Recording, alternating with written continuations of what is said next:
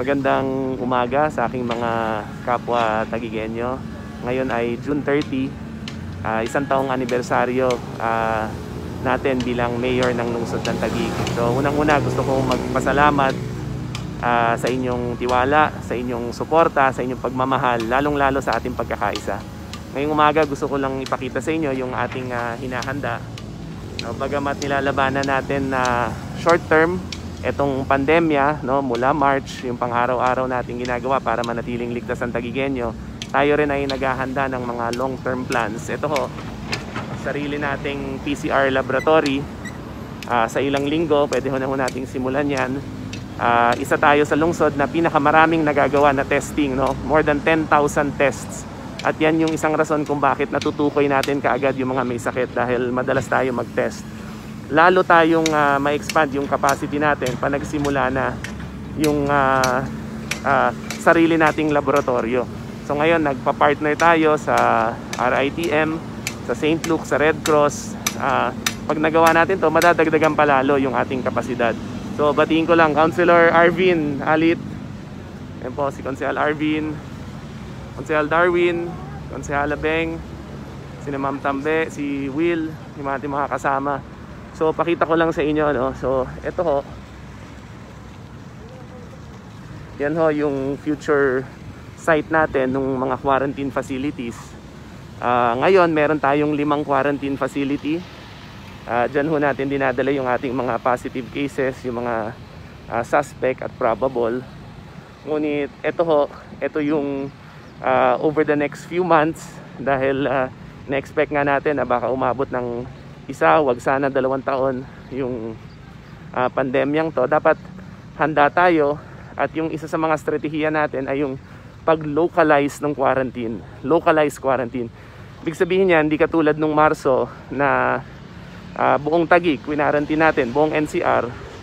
Ah, sa mga susunod na mga hakbang natin, mas maganda kung i-isolate na lang natin yung isang area.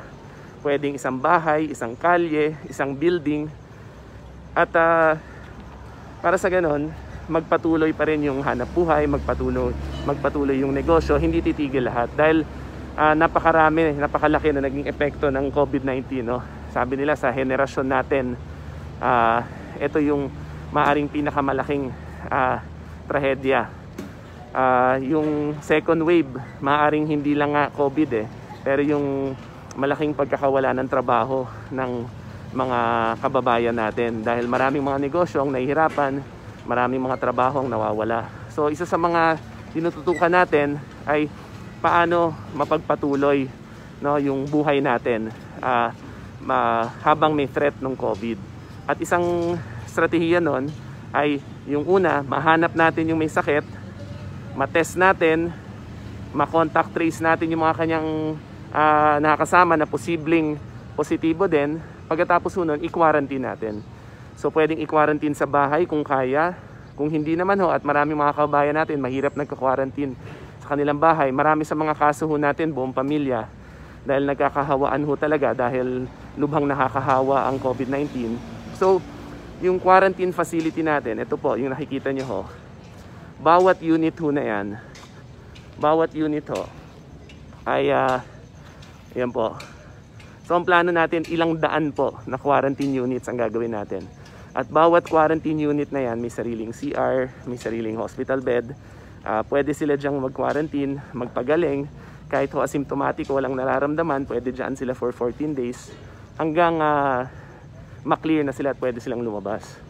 Napakahalaga nung stratehiyang to dahil ah, tulad ng sinabi ko kanina, hindi lang yung sakit ng COVID-19 ang ating dapat na patuloy na nilalabanan, ngunit dapat handa tayo dun sa malaking epekto no, sa ekonomiya natin sa pagkawala ng trabaho ng COVID-19 at yung tagi gustong siguraduhin na ah, handa tayo para sa ganon hindi kailangan na magsara nung isang buong barangay, magsara nung ah, ating lungsod.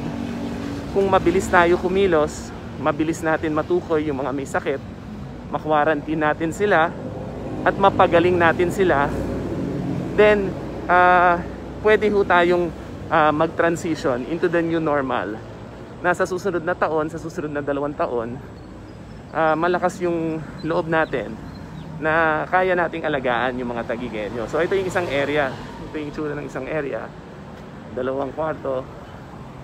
Yung isang room na yan, may bed, may CR, may maliit na living room. Ah, then may space dito sa gitna. Yung ibang lugar, magkakaroon naman ng mga pocket gardens. So yung quarantine facility na to, facility na to ay isa lang sa marami nating hinahanda no long term para masiguro ng ating mga kababayang tagigenyo ay ah, safe at ang Tagig ay isang ah, syudad na progresibo na alam natin na sa iba't ibang aspeto pinaghahanda itong pandemyang ito.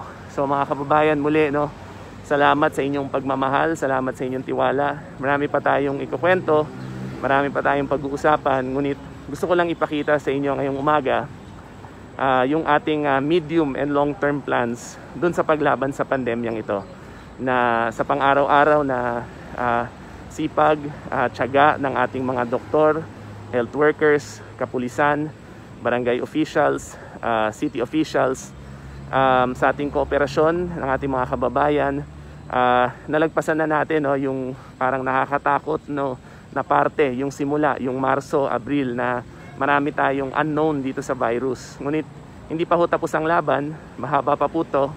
Ngunit makakaasa ho kayo, hindi tayo magpapahinga, hindi tayo matutulog hanggang ah, handa sa lahat ng aspeto ang lungsod ng Taguig. So yung pagte-test ho natin, uh, we're over 10,000 tests.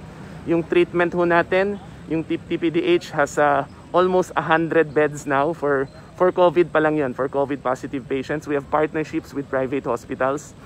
Ah, at sigurado pagdating naman dito sa isolation, para nabubukod natin habang wala pang vaccine, yung mga nagpo-positibo, pagagalingin natin sila dito. No? We will take care of Tagigenyos who have COVID positive. And now we are taking care of them and long term, as we transition to the new normal, sisiguraduhin natin na maalagaan lahat ng ating mga kababayang Tagigenyo. Ah, God bless Tagig. Muli, ah, sa ating isang taong anibersaryo, nagpapasalamat ako sa lahat ng kawani ng gobyerno na tumutulong sa atin, naniniwala sa atin, ah, kapit kamay sa gitna ng trahedya, ah, nagsisilbi. Salamat ho sa bawat isa sa inyo. Ah, mula sa aking mga department heads, sa aking administrador, sa ating mga konsyal ng bayan na napakasipag, ah, sa ating mga barangay captain, sa lahat ng kawani ng gobyerno. Salamat mula sa unang araw ko hanggang ngayon sa unang taon natin. Salamat sa patuloy na pagmamahal, patuloy na suporta sa ating mga kababayan Tagigenyo. Salamat sa ah, inyong patuloy na pagkakaisa. Ah, we will keep working together to keep Taguig City safe. Ah, Konsehal Darwin, Konsehal Arvin, paalam lang sila. Konsehal Beng, nandyan din. God bless Taguig. Maraming maraming salamat po.